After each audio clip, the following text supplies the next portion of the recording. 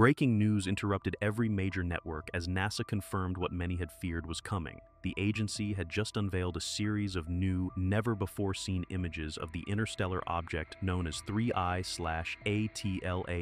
and according to those inside the control room, the revelations were far worse than anyone expected. At first glance, the images seemed almost too clear, too structured. 3I-ATLAS, previously thought to be an icy interstellar comet, appeared in the latest data as something entirely different. Its edges were unnaturally smooth, its surface etched with perfect geometric indentations, patterns that no random cosmic process could ever produce. NASA's official press conference was brief, oddly evasive. We have received new high-resolution images from the James Webb Space Telescope, the spokesperson said carefully. We are still analyzing the data. But moments later, insiders began leaking portions of the classified footage. What they showed was enough to ignite every scientific and conspiratorial corner of the internet. The object wasn't rotating like a typical comet. It seemed to pivot, correcting its orientation with subtle but deliberate movements. NASA's internal tracking team flagged this immediately, suggesting the object might possess some kind of internal stabilization mechanism. But how could a fragment from deep space demonstrate control over its motion?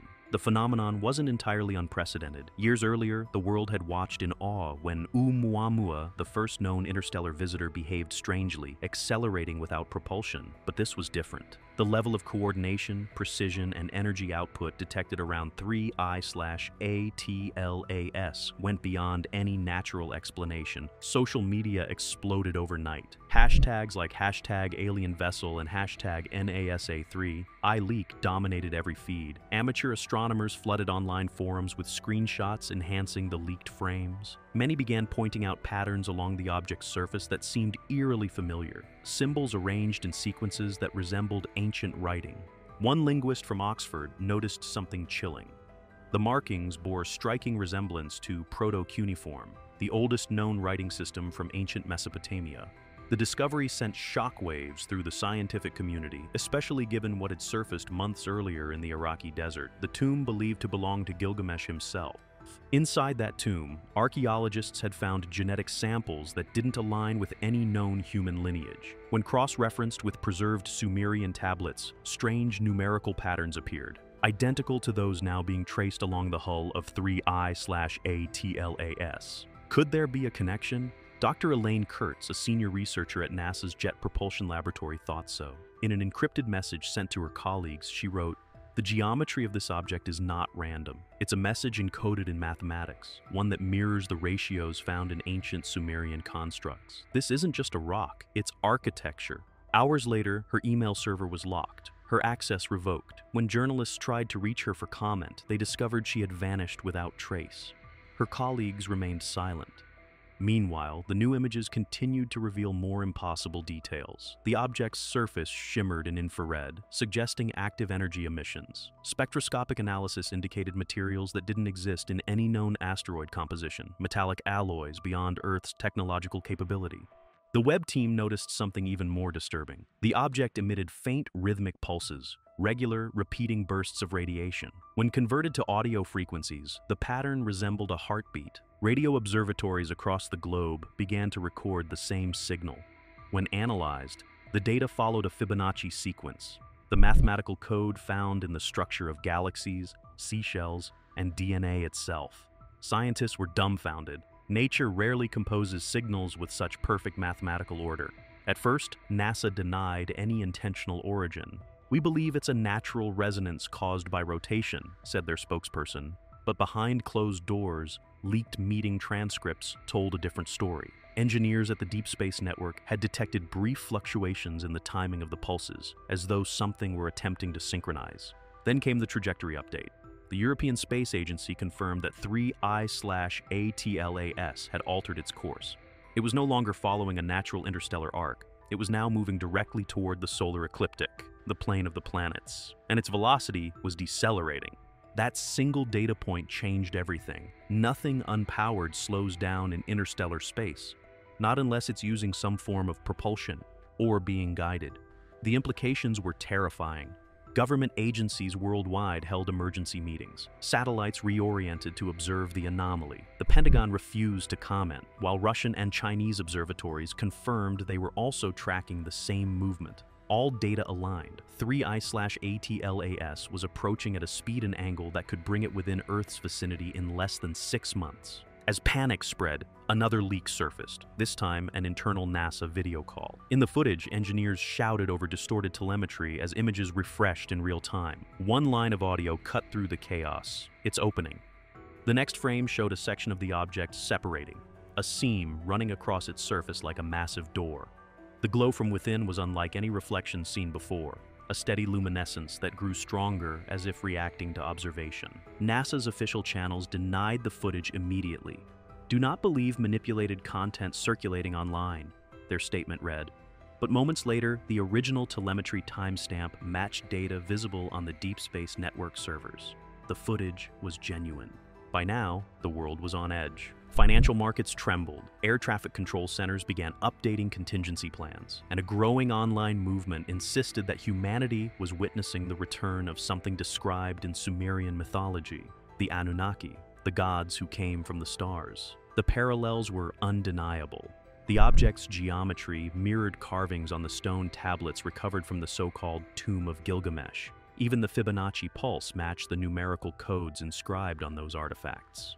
Could it be that this object was part of a forgotten technology, one tied to the earliest myths of human civilization? Religious leaders issued calls for calm, scientists demanded transparency. But NASA remained quiet for 72 hours. Then, suddenly, their website displayed a single update. Data under review, please stand by. Meanwhile, observatories began detecting something new, tiny fragments separating from 3I-ATLAS and moving in organized formations. They weren't debris, they were maneuvering. Each fragment emitted its own frequency, synchronized with the central object. Theorists suggested they were probes, micro-drones perhaps, or extensions of a larger system. Their flight patterns resembled swarm intelligence algorithms, the kind used in AI research on Earth. And just like that, the line between alien intelligence and machine blurred beyond recognition. Energy readings spiked globally. Radio noise filled the ionosphere, Across Europe and Asia, power grids flickered without clear cause. Some claimed the object's emissions were interacting with Earth's magnetic field. Then came the transmission. For hours, shortwave radios picked up fragments of a signal that wasn't supposed to exist. Linguists from multiple countries collaborated online to decode it. The first deciphered word translated chillingly to home. Dr. Kurtz's encrypted notes were leaked two days later by an anonymous source. They contained detailed comparisons between the three I slash ATLAS symbols and inscriptions from the ancient city of Uruk. The translation she proposed read, The seed returns when the cycle completes. As fear spread, NASA scheduled an emergency live briefing. Millions tuned in as the director stood before the cameras, visibly shaken. We have observed anomalous activity, he admitted. We are in contact with international partners to determine the nature of the event. Then the feed abruptly cut out. For several minutes, NASA's entire network went offline. When it returned, all data from the previous 48 hours was missing. Backup servers showed only blank directories labeled Classified Priority Red, Amateur astronomers kept tracking the object. They reported a sudden increase in brightness, a flash so intense it temporarily blinded several instruments. The light appeared to come from deep within the open structure. Something had activated. Military radar across multiple continents registered electromagnetic bursts consistent with controlled propulsion. 3I-ATLAS was no longer drifting. It was accelerating, toward the inner solar system. In a desperate attempt to calm the public, NASA released one final image captured by the James Webb Telescope. The picture showed the interior of the object, vast chambers arranged with impossible symmetry, each glowing with pulsing light, and at the very center, a dark sphere, perfectly smooth, surrounded by what looked like liquid metal. Analysis suggested the sphere was generating a magnetic field stronger than any natural phenomenon known, Theorists called it a containment core, possibly housing the object's power source or something alive. Then, as suddenly as it had brightened, the object went dark. Every instrument pointed at 3I-ATLAS recorded a synchronized drop in signal. Silence. For nearly two hours, nothing came through the deep space channels. At precisely 3.33 UTC, the heartbeat returned. Stronger, louder, now aligned perfectly with Earth's Schumann resonance, the frequency of the planet itself. Whatever it was, it was now in sync with Earth. Global communications began to flicker, power surges hit multiple cities, air traffic systems malfunctioned briefly. At the same moment, satellite telemetry revealed that the object's smaller fragments had dispersed, forming a precise geometric alignment with Earth's orbit. Theorists argued this was no attack, it was preparation, a synchronization event, the completion of a cycle referenced in Mesopotamian prophecy, the return of the beings who once shaped mankind from the clay of the earth. NASA's internal log for that night, later leaked, contained only one handwritten note from an unnamed technician. It's responding to us. The final confirmed observation came from the Webb telescope before it was ordered to power down its instruments. The object emitted a burst of energy equivalent to a solar flare, but concentrated, directional, and silent. For three seconds, telescopes across the world captured the same event, a blinding flash expanding outward like an awakening eye. Then, all data ceased. Observatories reported system-wide blackouts. Every major satellite feed froze on the same frame, the object glowing like a newborn star. The transmission cut to black.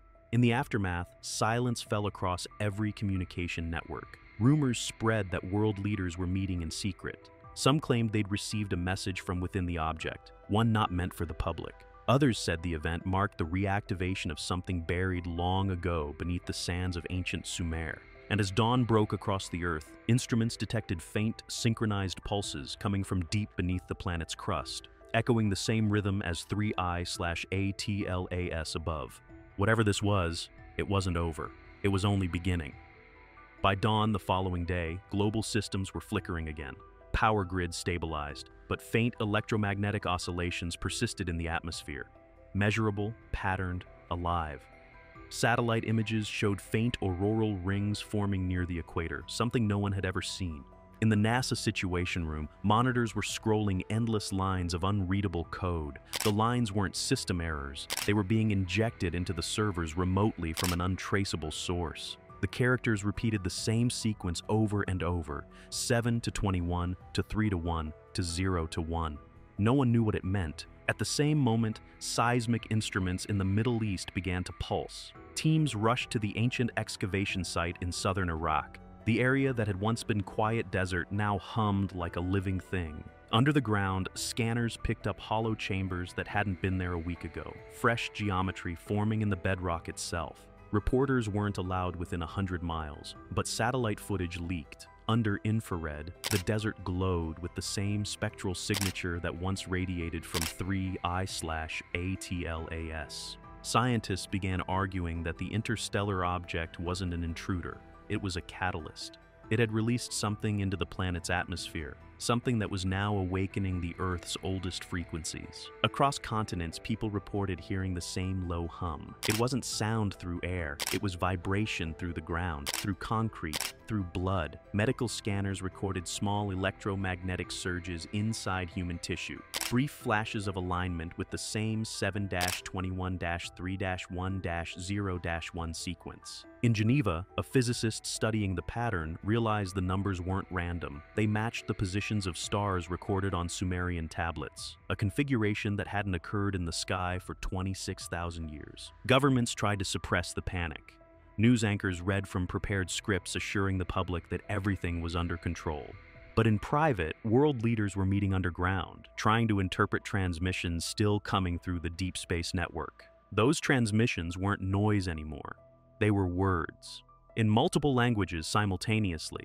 The first phrase that decoded cleanly translated to cycle complete, seed awakening. All around the world, people began to dream the same dream of a sky split by a golden light and cities made of glass beneath the sea. Psychologists couldn't explain the global synchronicity. Satellite imagery showed a faint geometric shimmer across the oceans, like energy forming beneath the waves. And then, without warning, Every seismograph on Earth registered a single pulse, sharp, clean, impossible. From the deepest point of the Earth's crust came a sound that matched the heartbeat of 3I slash ATLAS. In Iraq, the excavation site erupted in light. Dust swirled, stones trembled, and a spiral pattern burned into the sand. From the center rose a structure made not of stone or metal, but something that looked like liquid light frozen in motion. The pulse reached orbit again. The web of particles that had replaced three i slash A T L A S began to align, spinning around the planet like an invisible ring. And then, in every language known to humankind, the signal spoke one final phrase We never left.